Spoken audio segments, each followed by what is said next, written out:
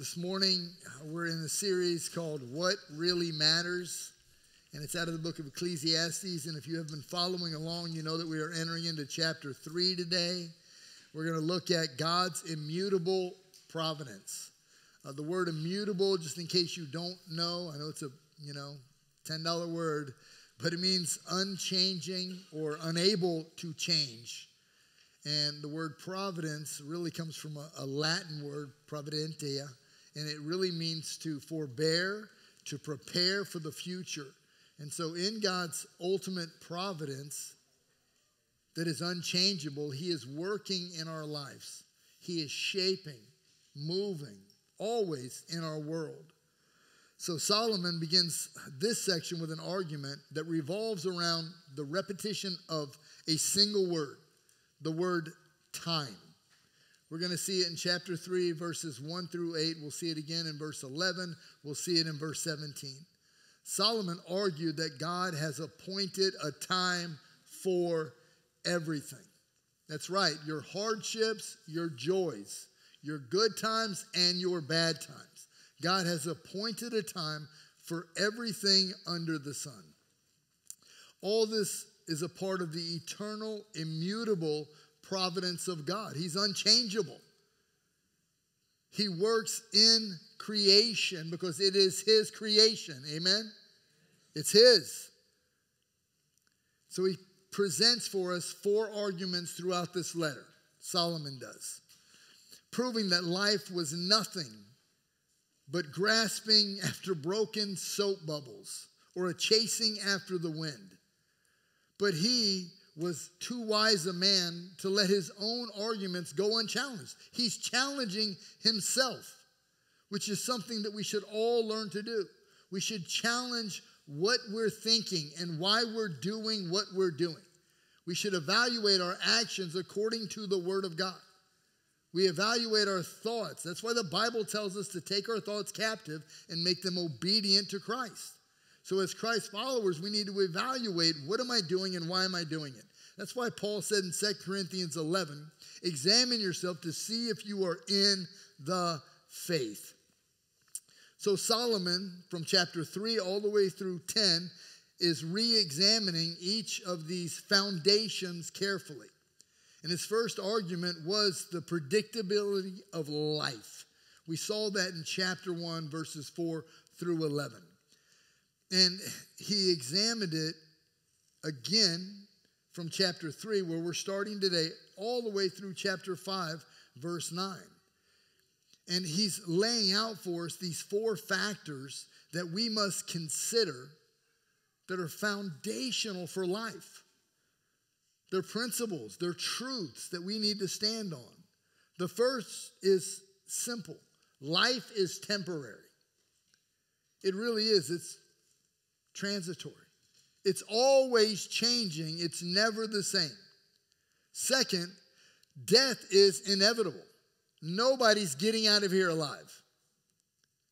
It's inevitable for every one of us. It's something that we don't like to think about. It's something we don't like to talk about, but it is a reality that will hit us. And when that happens, the third fact or foundation that is absolutely true is that judgment is unavoidable.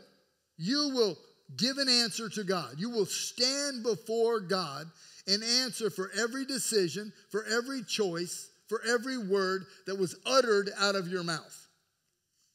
Because of foundation number four eternity is undeniable. We will live forever. God created us as eternal beings and we will either live for all eternity with God in heaven, or we will live for all eternity apart from God in hell, where the fire never dies,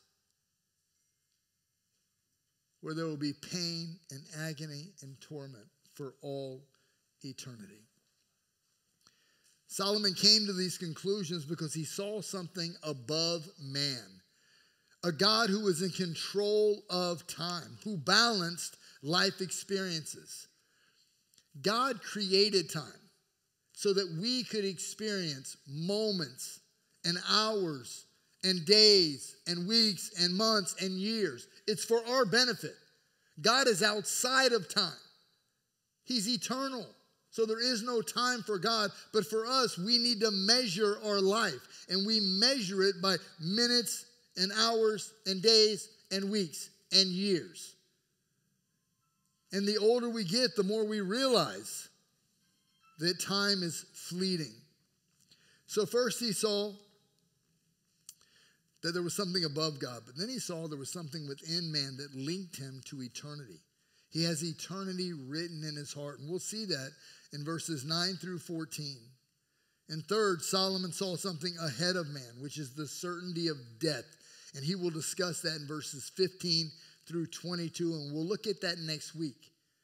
And then finally, he saw something around man, the problems and the burdens that we all experience.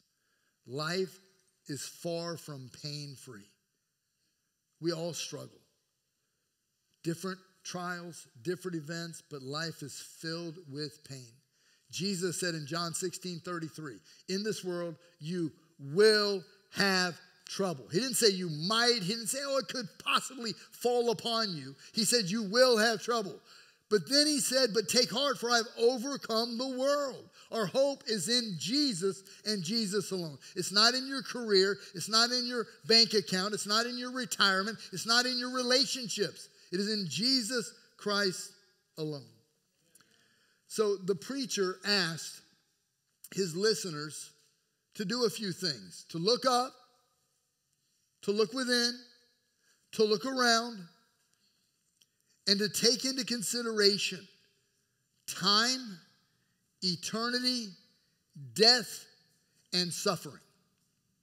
Those four foundational aspects these factors that are a part of our everyday life, which when we understand them, they keep us from living a life apart from God. And that was his thesis for the first two chapters, right? Under the sun. Remember the phrase? Life under the sun. It's a life apart from God. We don't want to live a life apart from God because He is our only hope so we're going to consider two of these factors. We're going to look at them today, and then next week we'll look at the next two. The first factor is that everything has its time. Everything. So he starts in chapter 3. We're going to look at verses 1 through 3. He says, For everything there is a season and a time for every matter under heaven a time to be born and a time to die, a time to plant and a time to pluck up what is planted, a time to kill and a time to heal, a time to break down and a time to build up. Solomon said there is a time for every activity under heaven. Each activity has its proper time or a, a point in time. And then he used the word season, which season means a duration. Have you ever heard the phrase, you're just in a season of life? Right? We think that way, right? It's a duration, it's a period of time, but it's just a season of life. And we are constantly going from one season to another season to another season. We're always in a season of life. And those seasons are always based on the sovereignty of God and the providence of God because He is the one that is orchestrating all of our events, all of our circumstances for our own good. That's why the apostle Paul wrote Romans 8:28. And we know that all things work together for the good of those who love him and have been called according to his purpose. Because he is using these things to shape us and mold us and to help us to be the people that he created us to be. So he followed his general statement with a poem on 14 opposites that's right, 14 opposites, each of which happen in its time. And the fact that Solomon utilized polar opposites, these are all the poem, complete polar opposites in a multiple of seven. So there are seven and then seven, and they all build off each other. And he began his list with birth and death. He said, For everything there is a season and a time for every matter under heaven a time to be born, birth, and a time to die, death. And this is highly significant because it will build from here. So the number seven suggests the idea of completeness. Seven represents the idea of completeness. And the use of the polar opposites, it's a well known political device called merism, which suggests totality. It's not only completeness, but it's infinite, it's totality. God is going to teach us that He is sovereignly in control of all things and how we should respond to His sovereignty. So, the first Bible verse that I ever memorized. You guys remember the first verse? I, mean, I do. I was young, I was a new believer, and I read Psalm 139. And I was just taken back by the providence of God and the sovereignty of God. I'm a young believer, right? I've got no theology. I don't know what I believe or why I believe, but I was just amazed at that psalm. And so I put it to memory. And the first three verses are so amazing. I wanted to share them with you this morning. So Psalm 139 starts off, O Lord, you searched me and known me. You have known me. He knew you before you were born. He knows more about you than you know about yourself. You have searched me and known me. You know when I sit down and when I rise up. You discern my thoughts from afar. You search out my path and my lying down and are acquainted with all my ways. And then you come down to verse 14, actually starting in 13, all the way through 16, and he talks about how God knit you together in the womb. And he says, All the days ordained for me. What does ordain mean? It means that God established them. All the days ordained for me were written in your book before one of them came to be. So God has laid out your life. He is at work in you. And the only reason you're here this morning is because of His grace and because of His mercy and because of His love for you. And it's our job to trust Him. He knows what He's doing.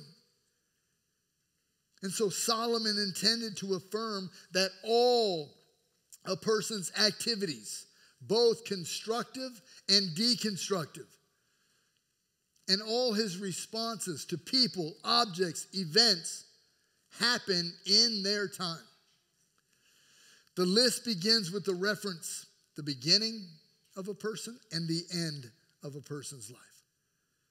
Two events over which no one has control. Did you choose when you would be born?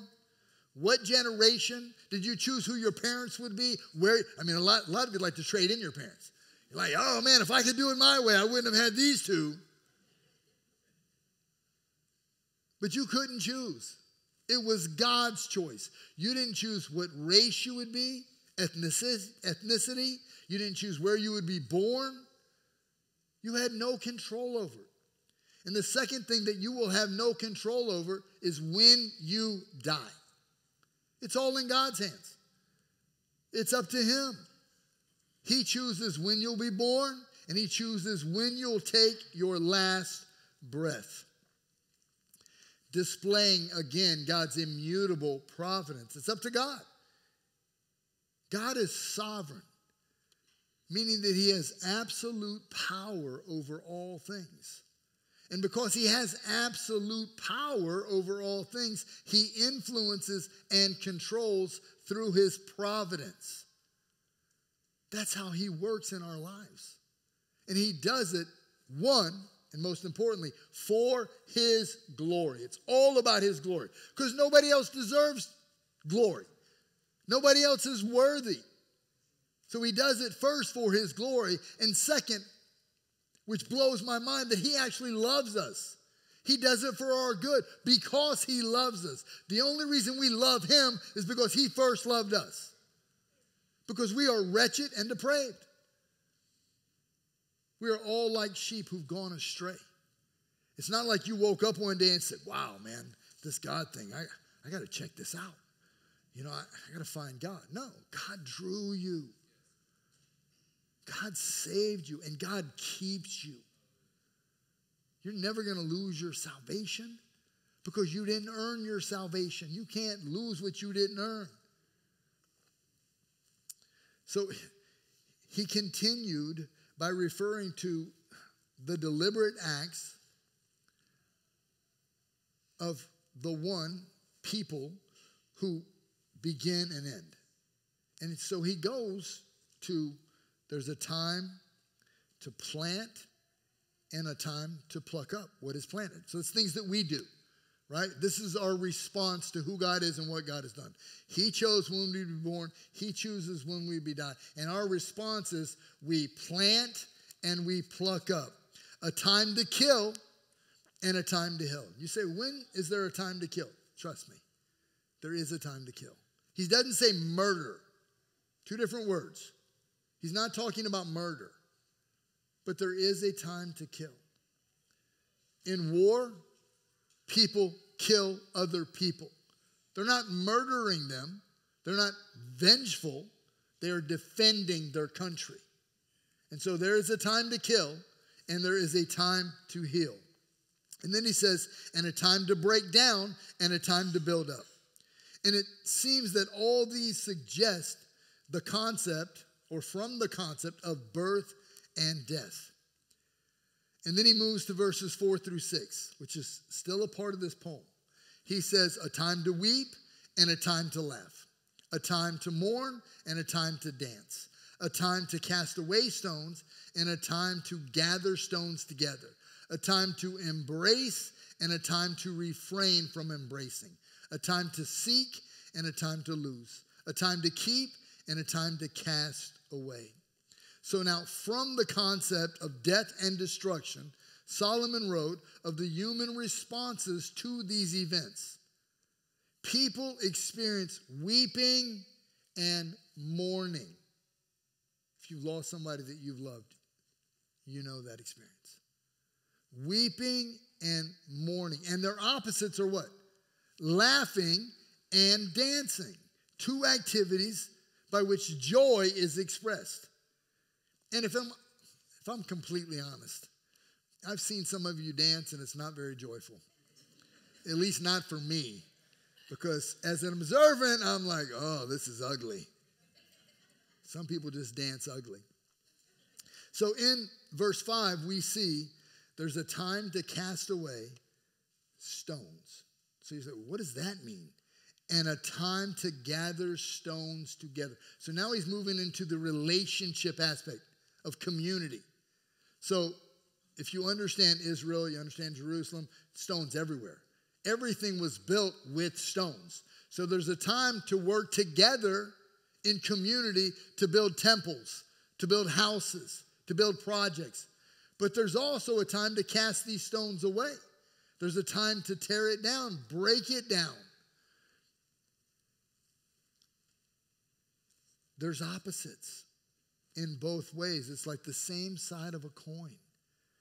One side is heads, the other side is tails. There's building and there's tearing down. And the thought of keeping and throwing away. There are some stones that you say, well, this is a good one. And then you're like, oh, this is too small. And you throw it away, right? You're not going to keep every stone.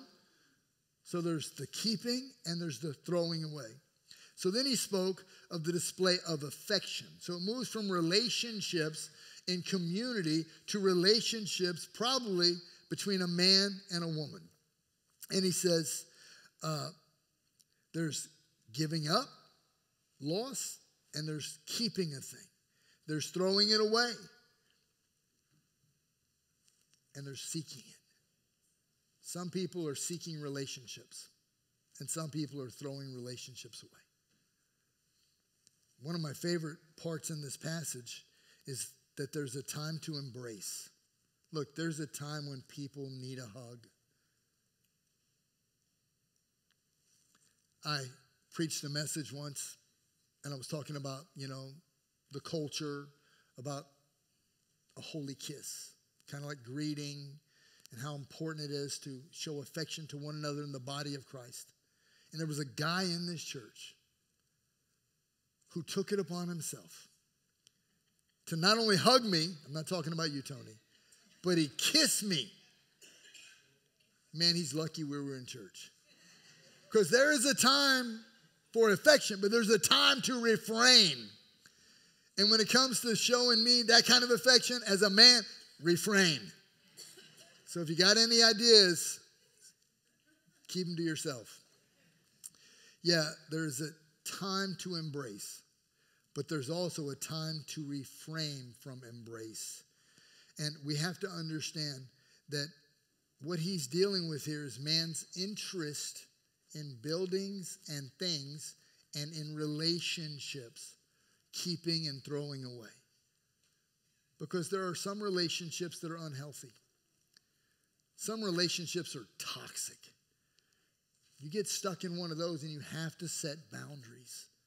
You got to be like, this is unhealthy for me. I cannot continue to allow you to abuse me over and over and over. That's why boundaries are so important in relationships. You say, I forgive you, but I'm not going to forget. And I'm not going to keep putting myself out there to be hurt over and over and over. It's unwise. And so there is a time to throw away, and there is a time to seek. And the critical aspect in all of this is the Holy Spirit. Because sometimes we don't know when it's time to set a boundary. We don't know when it's time to throw away. We don't know when it's time to build. So we need the Holy Spirit to lead us and guide us, which is His role in our walk. His role is to lead us and guide us in all things. That's why we are called to be filled with His Spirit. We need wisdom and discernment. That's why Ephesians 5:15 says, "Make the most out of every opportunity because the days are evil." What did he say right before that? To be wise. We need his wisdom. And then he says in verse 18, to be filled with the Spirit because it's all connected together so that we're doing the things that we're supposed to be doing when we're supposed to be doing it. Then he says in verse 7 and 8, a time to tear and a time to sow, a time to keep silence and a time to speak. Now, that part, a time to keep silent, many of you have never read that before. So I want you to be aware there is a time to zip it. You ever met those people that just can't ever, man, whatever's on their mind, they just got to blurt it out. Man, you just want to smack them. Like, come on. Is that necessary? Whatever they think, they think they have to tell everybody. There is a time to be silent, and then there is a time to speak out, a time to love, and a time to hate a time for war and a time for peace. So, verse 7 refers to our actions associated with mourning and grief, right? He says a time to tear. It's tearing of one's clothes. If you were Jewish, you would understand the culture. When they were in mourning, they would go to sackcloth and ashes and they would tear their clothes and they would put dirt on their heads and they would grieve. You can read Job. I mean, if you remember the story of Job, you get to chapter 2, verses 12 and 13. Man, he's covered in boils, and his friends show up and they see him for the first time. And they rip their clothes and they pour dirt on their heads and they sit in silence as they mourn and grieve. So, just as there's mourning and grieving, during those times, you need to be silent. Sometimes it's better just to sit with somebody. You know, when I was a young pastor and somebody would lose a loved one, man, I would try to help them to feel better. I would try to encourage them. And what I learned in the process was I just needed to be there. It was better just to be there and to be silent than to try to fix their problem because they don't need to be fixed. They need somebody to grieve with them, they need somebody to mourn with them during their loss. And so, on the flip side, there is a time to get out your needle and thread and sew. There's both a time to tear and a time to sew. So sometimes we got to get out the needle and the thread and we got to start sewing things up. Reconciliation, restoration. We got to help people. Got to bring people back together. And a time to speak out. So there are times when you see people hurting themselves, and it's time to speak out. You got to say, hey, what you're doing is just killing yourself because we're in this together. And so there's a time to be silent and to grieve and mourn with somebody, and there's a time to patch things up and to help somebody. So, you know what? You got to forgive that person. You're walking with bitterness in your life, and you're not getting better, you're getting bitter. And because you're bitter, you're holding on to anger. And you're smothering yourself. And I'm telling you this because I love you and because I care about you've got to walk in forgiveness. You don't got to reconcile right now, but that's always the goal. But right now, you need forgiveness and boundaries so that you are free. Because forgiveness isn't about the other person, it's about setting yourself free. When you forgive, you are the one who finds freedom. Do you think the person that you're holding a grudge against cares about what you think or what you're going through? They probably don't even know.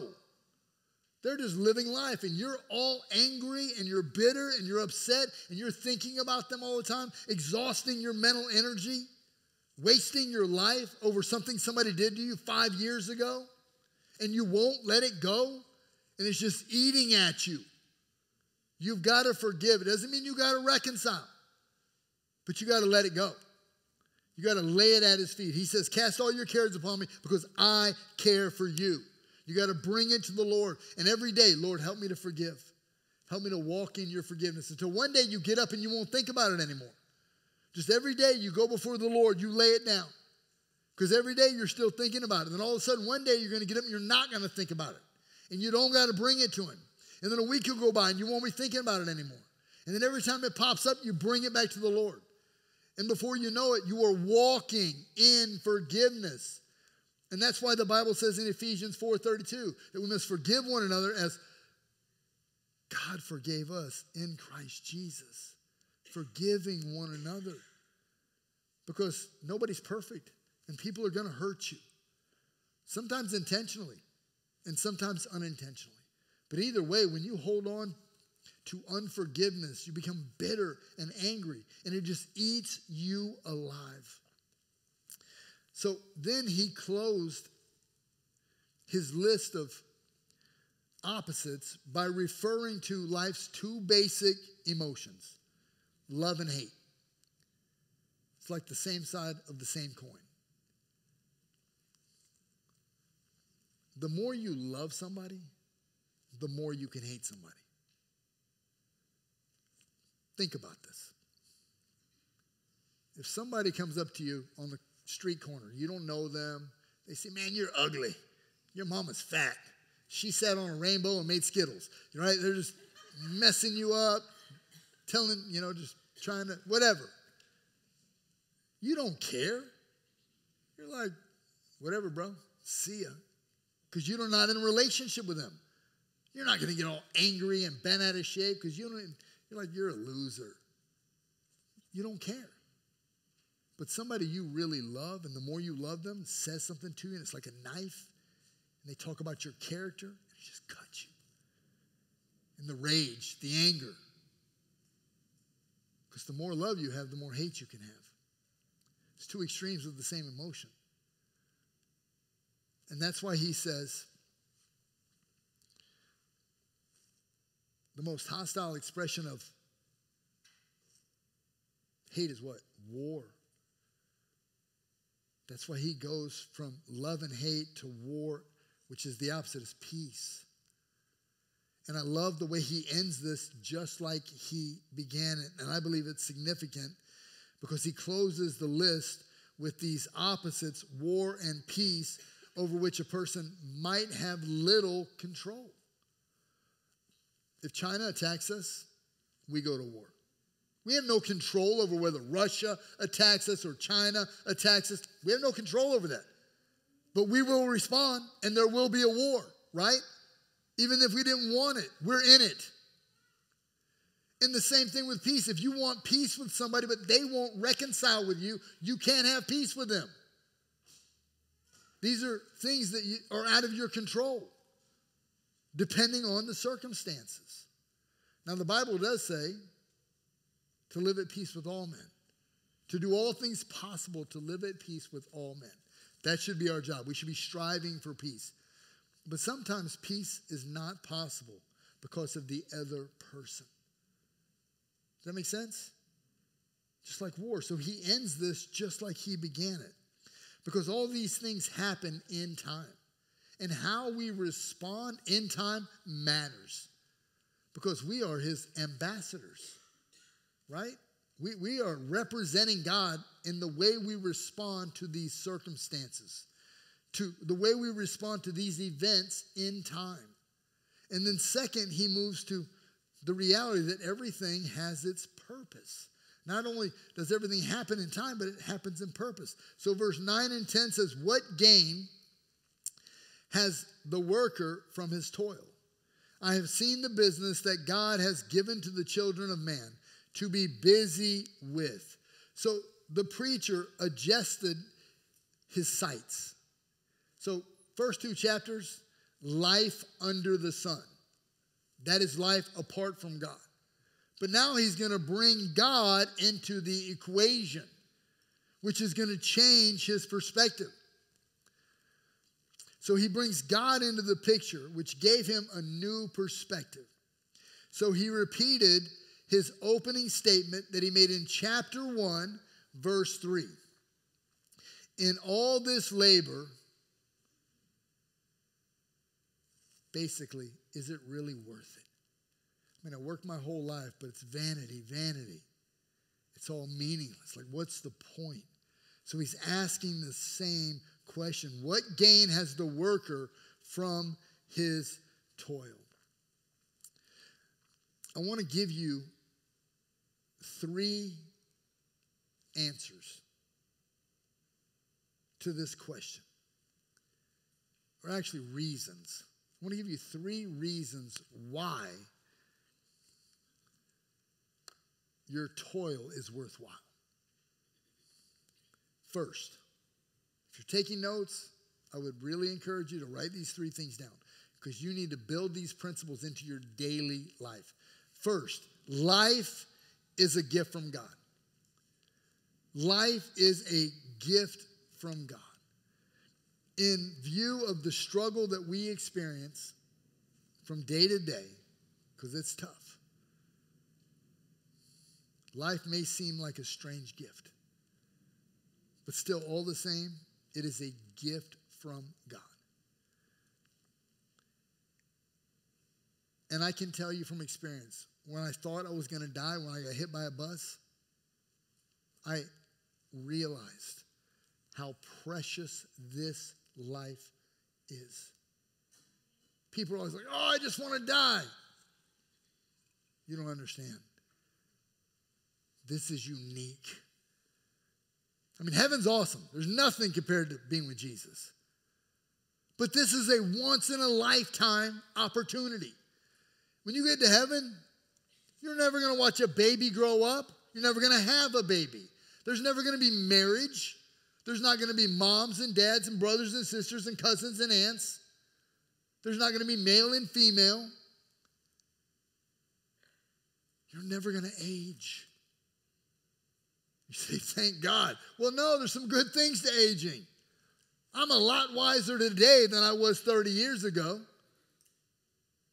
And hopefully, in the next five years, if I live another five years, I'll be wiser still. So, there are things to be learned in this life that you will never experience again when you're gone. And so, this is really a gift. Life is a gift. And if we believably accept that life is a gift, and learn to thank God for it every moment of every day. Like, thank you that I get to walk through this life, regardless of my struggles, regardless of my trials, regardless of all that is against me. Thank you for the gift of life. It will impact your attitude, it will change your perspective because you'll realize that this is a blessing. But if you begrudgingly accept life as a burden and are always negative and depressed, you'll miss out on the gifts that God has given us through this life. And hear me, outlook helps to develop outcome. In your perspective, your outlook affects the way you think. And people who are always negative and critical are always looking for what they don't have instead of being thankful for all that they do have. Life is a gift. And I'm not saying that it won't be tough. But if your perspective is right, instead of getting bitter, you'll get better. Let, let, let me just say this, and, and I mean this with all my heart. Suffering is a gift. Nobody wants to suffer. But when you suffer, it is truly a gift because it draws you closer to Jesus than you would ever be without it. It grabs our attention, it holds us, and it changes us all at the same time. We can't even see it happening. But God knows what He's doing because He's sovereign and providentially working all things out for our good and for his glory. Verse 11 says, He has made everything, love it, beautiful. Well, Solomon's like, whoa, wait a minute. With God, it is beautiful. For he has made everything beautiful in its time.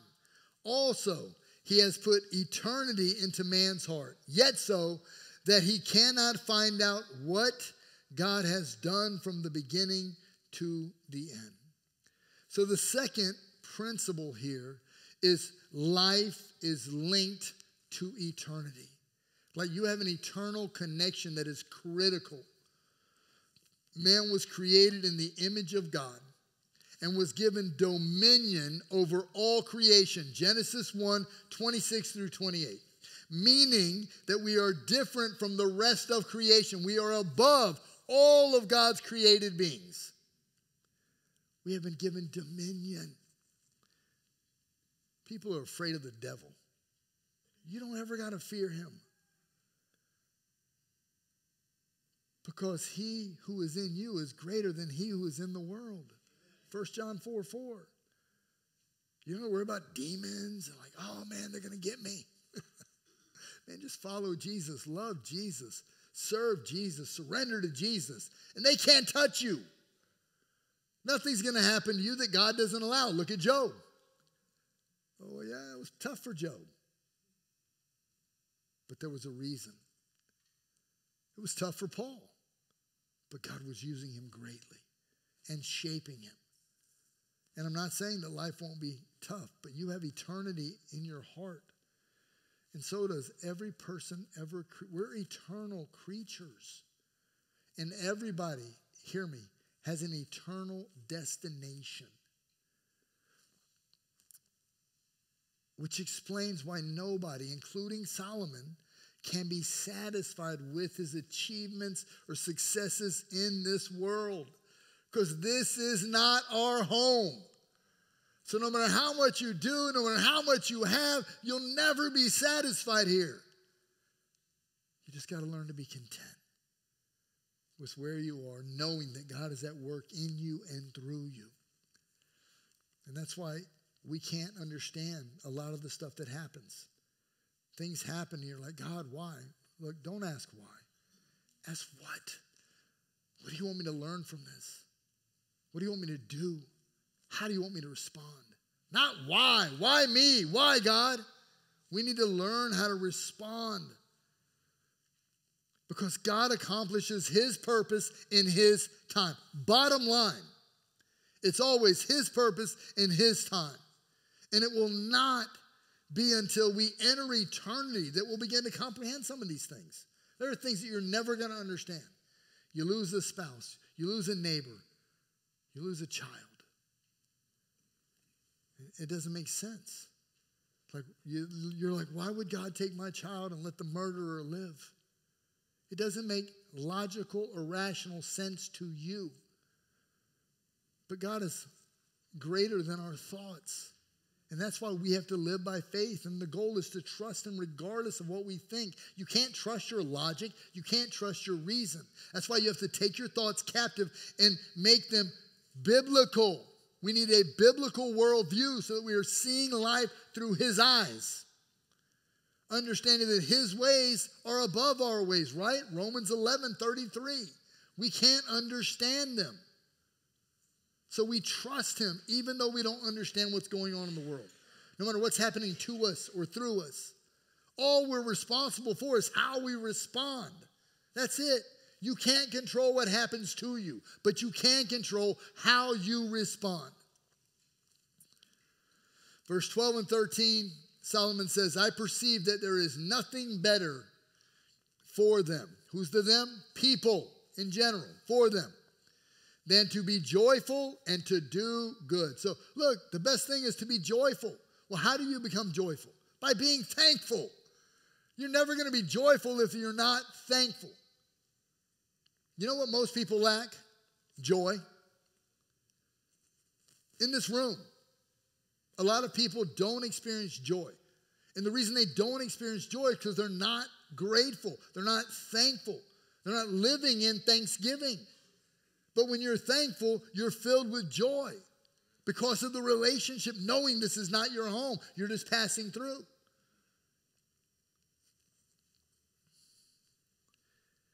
As long as they live, he says.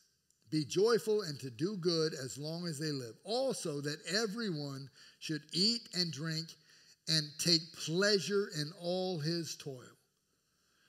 This is God's gift to man. What is it? It's a gift. Look, your job, it's a gift. I hate my job.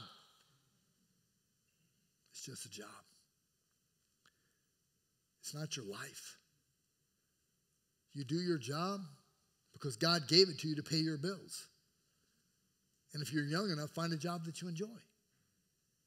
And if you're old, stick with what you got. Because it's too late. Sorry. But if you're young enough, man, find something that you're going to enjoy doing every day.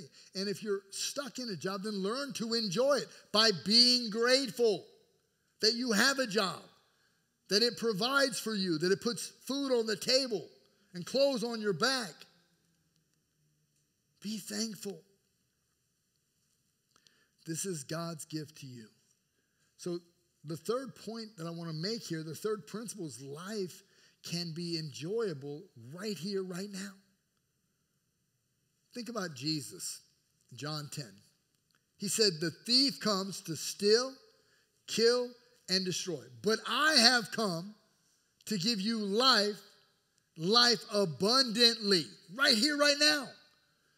Paul says in Galatians 5 1, it is for freedom that Christ has set you free. You don't got to be bound up in your sin. You don't got to be bound up with your worry. You don't got to be bound up under anxiety. You don't have to live with stress and fear. You are free in Christ to enjoy this life to its fullest. It's a gift, it's a blessing, and learn to enjoy it.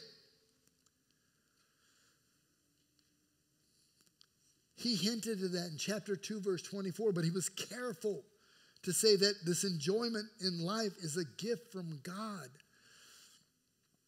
It's part of the theme of Ecclesiastes, and he's mentioned it in each of the four sections. He does, he mentions it over and over because he's encouraging us to find joy in what God has gifted us, our toil, to find pleasure in this life. And he's not talking about pagan hedonism. He's talking about enjoying the fruits of your labor.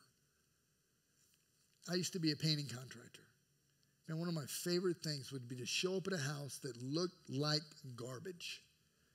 Looked horrible, man. You could tell it's got mildew all over it, hadn't been washed in 15 years.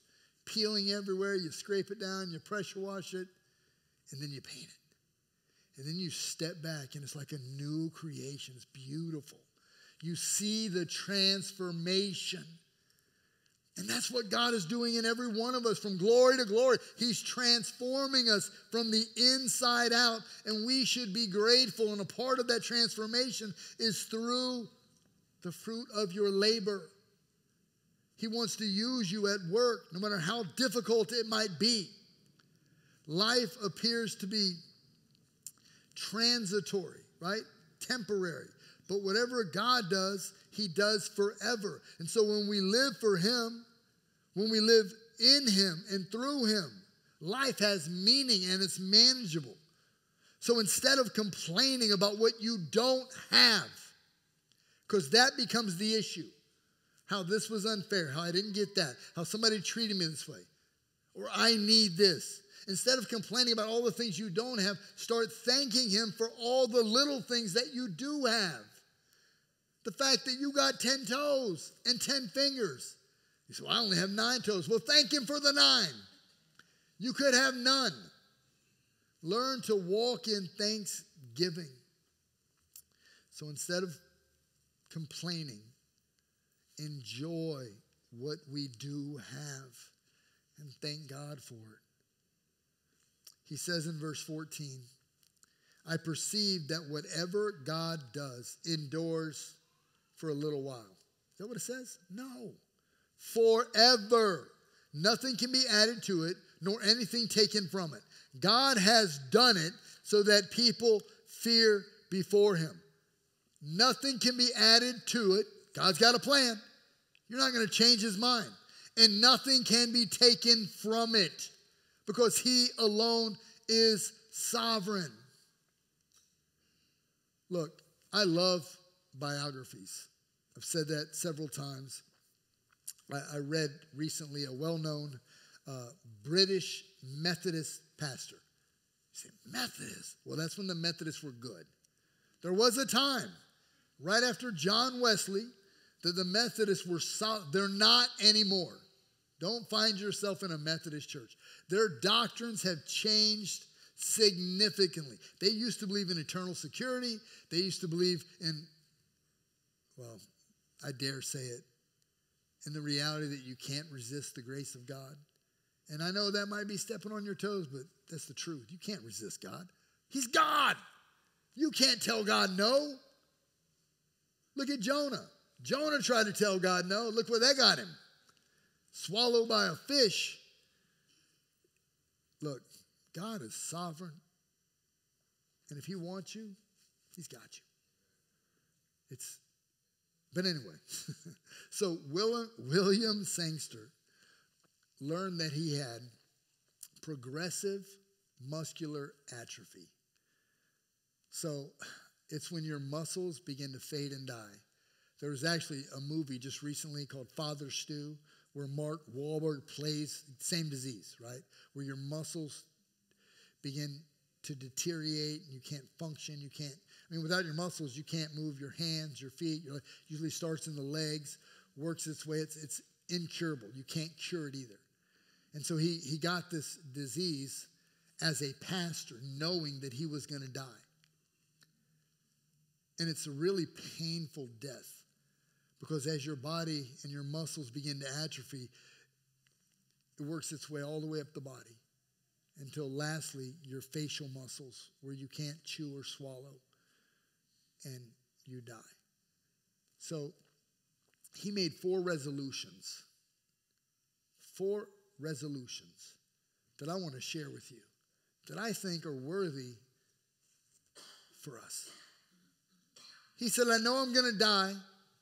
So I made these resolutions before God, and He lived them until He died.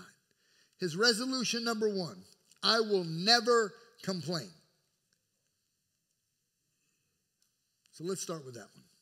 The Bible says, Do all things without complaining and grumbling, that you might shine like the stars in the universe, holding out the word of truth. That's what it says. Read Philippians chapter 2. So he said, I resolve. If anybody had something to complain about, Why me, God? I'm a pastor, I'm a teacher, I'm a writer. He was a writer, teacher, preacher. I will not complain. Second resolution I will keep the home bright, meaning that it's not going to be dull. We're not going to be depressed at my house. No matter how bad it gets, I want people to be filled with humor and laughter and love. I don't want them to pity me. I don't want them to look down and feel sorry for me. I want them to be filled with joy. Third, I will count my blessings. Like, what kind of blessings do you have when you are dying? So many. Because in his suffering, he's learning and he's growing and he's changing. He's growing closer and closer to Jesus because of his suffering. Spiritual life is flourishing. And he is counting his blessings. And his fourth resolution that he kept till he died I will use this for gain. Whatever God allows in your life, and let me just say this nothing happens without God allowing it. Nothing. May it be for his glory. Use it for gain. Allow God to work in it and work through it. Solomon's not saying, don't worry, be happy. That's not the theme. He is promoting faith in God, not faith in faith, which is the charismatic movement. It's, you know, new age, worked into the church. You got to have faith in your faith because it's not about the faith, it's really about the object of your faith. I mean, you can believe in a light bulb, but a light bulb won't save you. A light bulb can't change you. I mean, it might shock you if you stick your finger in it, but it won't change you. It's always about the object of our faith. There's no pie in the sky stuff. Because that's what's happened to American Christians. Like they think everything's going to be easy. I'm a Christian now. It's going to be a, a rose garden. Life's going to be easy. I'm never going to struggle. That's not true. That is not true. Go read about Thomas and Peter being crucified upside down and Paul being uh, beheaded. I mean, there's so much suffering in the church, and we think somehow because we're American Christians, we should be exempt. Look, I'm not trying to step on your toes, but if the shoe fits, wear it. The reality is, we need to be okay with our trials and our hard times and knowing that God is at work, even when it's hard. Because He alone can be trusted. You can't trust anybody else, but you can trust Jesus. He loves you. He proved His love for you, dying on the cross. I mean, how much more? God demonstrated his own love for us in that while we were still sinners, Christ died for us. What else he got to do? I mean, he died for you. He loves you. He has your best interest at heart, and he will do what is best for you even when you can't understand it. So let me just ask you think about this, all right? How can your life be meaningless when God made you as a part of his eternal plan. If God created you for eternity and he has saved you, how is your life insignificant? Do you realize how special you are? You are a child of God. If He has saved you and redeemed you and adopted you, you are His. You got nothing to complain about just the way it is. He's preparing for you an eternal home that far outweighs, anything that we're going to face here. So there's another guy who I read. I like biographies, right? Puritan pastor, born 1620, uh, died uh, 1686. So he's a Puritan pastor, Thomas Watson. And he said this. I want you to wrap your mind around this. Eternity to the godly is a day that has no sunset. Sun never goes down. Eternity to the wicked is a night that has no sunrise. The world is in darkness. Your neighbors, your family members, your coworkers are in darkness. What are you going to do about it? Not what is your pastor going to do, not what is your church going to. What are you going to do? Are you going to share the gospel? Are you going to pray for them? Are you going to love them? Are you going to be a witness to them? What are you going to do? He did this for you. And there are other people out there that are lost and in eternal darkness. And they need to hear the light, they need to see the light, they need to know the light. Jesus is the light of the world. And we have the only message that transforms life. Paul said, I'm not ashamed of the gospel, for it is the power of God unto salvation for them that believe. It's the only hope. And we have neighbors and coworkers and friends and family members that don't know Jesus. We need to share him. And I know that some people live in that fear. But when you have fear of the Lord, which I'm not talking about a, a cringing fear, I'm talking about a, a, submissive, obedient child who loves their parent and wants to obey. Like when Jesus said in John 14, 15, if you love me, you'll obey me. That kind of love that says, I love you. And I have a reverent fear of who you are because you are sovereign and you are awesome. And when you have that fear, it removes all other fears. You're not worried about what people think or what people say. It doesn't matter anymore because you are living in light of eternity. And if you find yourself living with worry or anxiety or stress, you're not living by faith, you're living in fear. It's, it's a warning. It's a warning to you. My God, help me to live in faith. I want to walk in faith. I don't want to live like this. I want to live for your glory and for your honor. Will you pray with me? Lord, help us to take your words seriously. Help us to learn from Solomon. God, to understand that life, it really is a gift. And it's enjoyable right here, right now. And Father, help us not to be people who are complaining all the time, and disgruntled. But help us, Lord, to be thankful and grateful for all that you have done for us. I mean, you died for us. Help us to live in gratitude and to be thankful for all the things that you have blessed us with. Lord, help us to keep our eyes on you as the author and perfecter of our faith, that you might use us for your glory. And God, help us to share the gospel, whether it's on a street corner or in a restaurant or in a living room. God, help us to be faithful to take your gospel to all people everywhere who are living in darkness. For your glory, God, and for your honor. In Jesus' name, amen.